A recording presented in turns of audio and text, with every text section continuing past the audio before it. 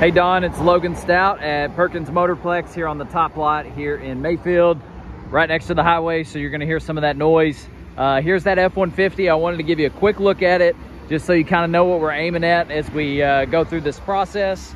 Uh, wheels all look to be in pretty good shape. Michelin tires at probably 60% tread on the front, eh, probably close to 50 on the back, so several years of driving before you'd have to do anything with those. Right side of it looks great. Of course, it's the full crew cab with the chrome package. You can see the chrome handles. Four-wheel drive. Tailgate looks great. Just under 100,000 miles, so we don't expect it to be perfect by any means, but I think it's uh, all in all in really, really good shape. It's a very nice truck. Smells good on the inside. Doesn't smell like smoke or animal or anything like that. Another wheel and tire in good shape. Front of it's got a few uh, like spots from like dust and stuff that that happens from the uh, from the highway but a couple little rock packs on the front that have been touched up but nothing significant. The chrome looks good. Got a nice spray and bed liner in it. We go to the inside. See the back seat looks like it's hardly been used really. It's got real nice floor mats all the way around charging ports and vents and stuff in the back. Seat backs look good.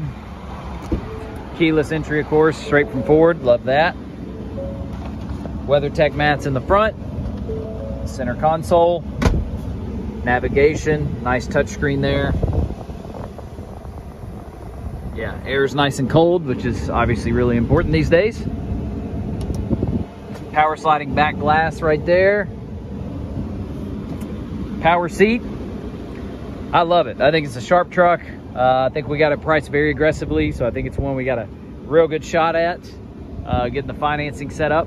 And uh, yeah, let me know what other questions you have. Let's uh, we'll look under the hood real quick. I'll give you a look at the frame as well. Texas Edition truck, which is a great sign. That means it's from the South.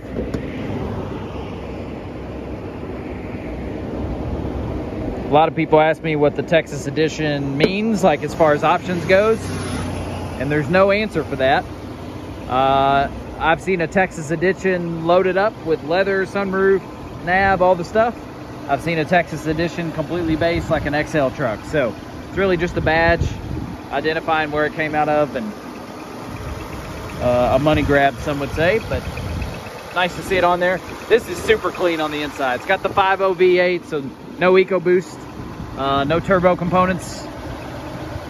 Um, a lot of the Ford guys swear by the EcoBoost stuff. Some of them more old school saying, hey, I don't want a turbo. I want the full V8, the 5.0 V8. That's what this is. Super, super clean here. I love that. I don't know an alternator from a radiator, but I have been, you know, taught a little bit just how to look for rust and corrosion and look at those connectors and stuff like that.